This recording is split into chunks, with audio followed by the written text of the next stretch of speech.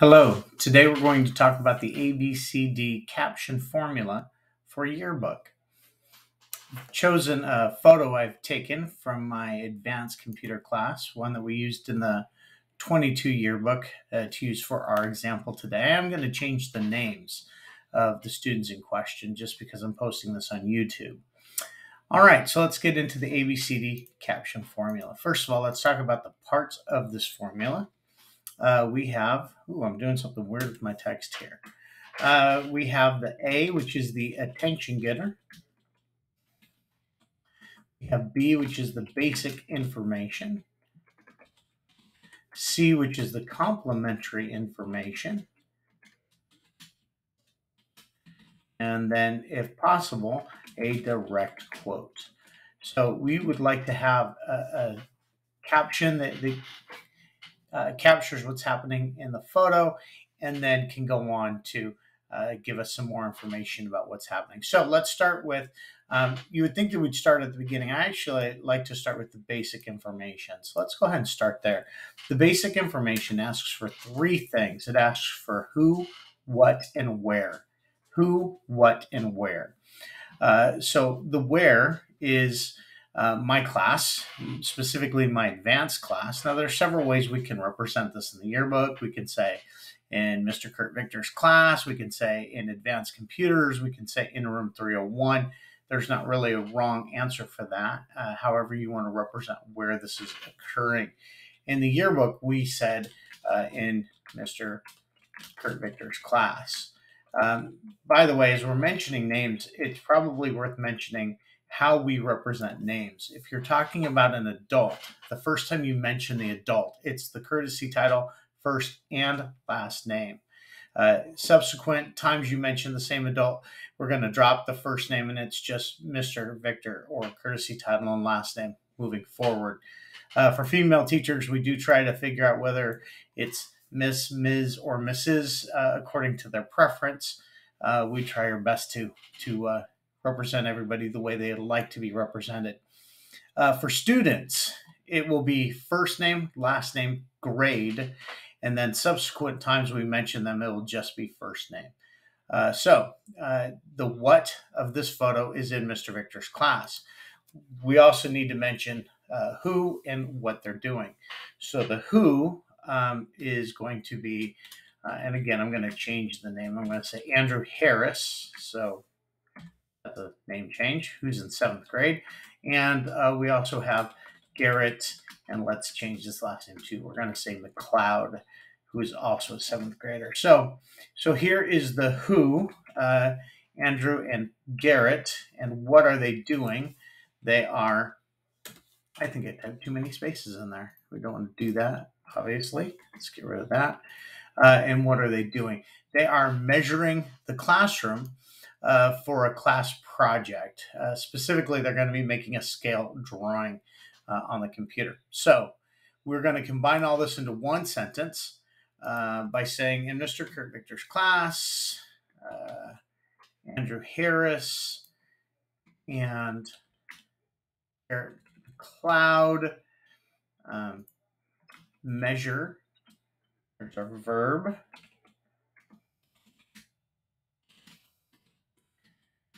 Uh, to make a scale drawing on the computer.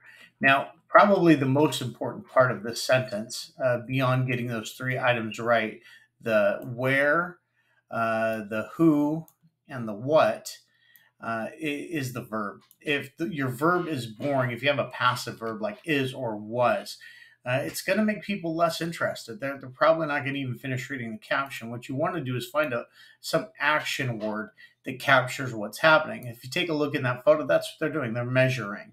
Um, yes, you definitely want to stay away from passive verbs at all possible. So this is the B sentence in the caption, who, what, where. It's an active verb.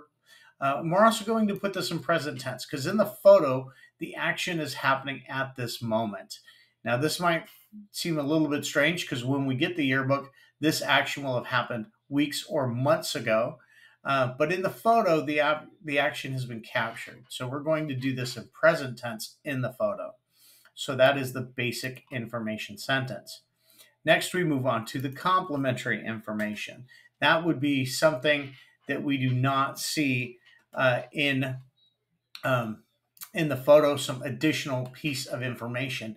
Now, in order to get this, you will have either needed to be at the event or you will have needed to interview uh, the people in question. Uh, and there's there's a number of directions we can take with this. You know, we can talk about what happened later in the class. Um, we can talk about um, something that happened immediately after, or something that led up to it, or another perspective. But but we want to give additional information.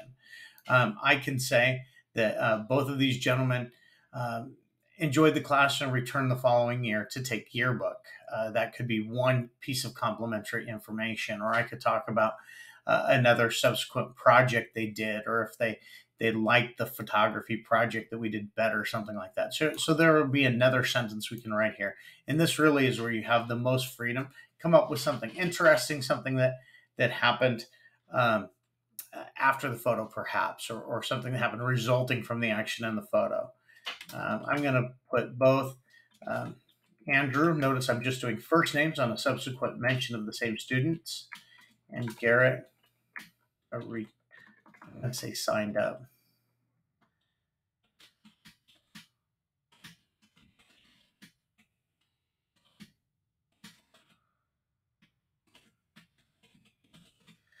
And then finally, you're going to get some kind of direct quote where you're going to need to interview these gentlemen to find out what happened.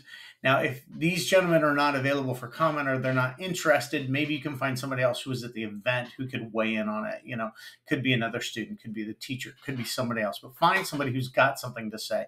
Uh, and most people love talking about themselves once you open it up.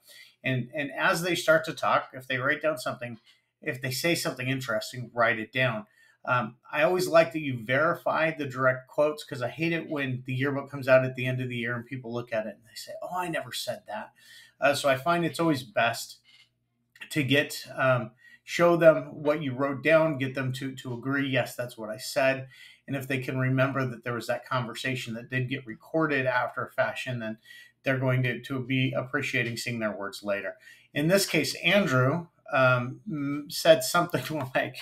Um, and I don't think I was the one who interviewed him, but I might have been. Uh, his words were, and notice I'm putting them in quotation marks because these are actually his words. We want to get them accurate. Uh, he said it was kind of boring um, measuring everything. Um, now, I, we don't always necessarily want to represent the class as boring or uninteresting, but we want to represent the truth. So let's go ahead and put in his quote. Um, and then we're going to uh, come back. Now that we've got the caption written, we're going to need to, to put in an attention getter. This is going to be short a word, two words, three words that are going to grab people's attention and hopefully make them want to read it. And, and I noticed this is really a community project. The two guys are, are, are working in tandem. Uh, they seem to be cooperating well. So the attention getter we, we settled on was uh, working together. So we're going to combine all these. Let me get rid of the headers here. Uh, so working together, usually it's going to be represented in a different font, maybe even in a different color. Um, so it stands out. Uh, but the rest of this is going to be combined into uh, one caption. So in the yearbook, it's going to look something like this. Like I said, this will probably turn into a different color depending on the color scheme we're using, maybe even be bold or italic. Uh, so working together, in Mr. Victor's class, that's the the where. Uh, Andrew and Garrett, that's the who. Measure uh, the classroom to make a scale drawing on the computer. That is the what, and notice it is using an active verb. Uh, both Andrew and Garrett signed up for the yearbook elective next semester. Now, notice I switched to the past tense on the sentence because as we're considering what happened after the fact or beyond the photo, then we're actually reflecting back on events that happened weeks or months ago. So we're we will switch to past tense for the C sentence, and then for the direct quote, uh, assuming we find something worthy to be printed, we're going to use the exact words as best we can. So this is the ABCD uh, caption formula that we will be using to write our captions for interesting photos in the yearbook. By the way, it might be worth saying when we actually printed this caption in the yearbook, um, the C sentence, there wasn't really room for it. So we actually did trim this part out. But for the most part, we, we want to tell good stories. So uh, we, as much as we can, we'll be using the entire ABCD caption.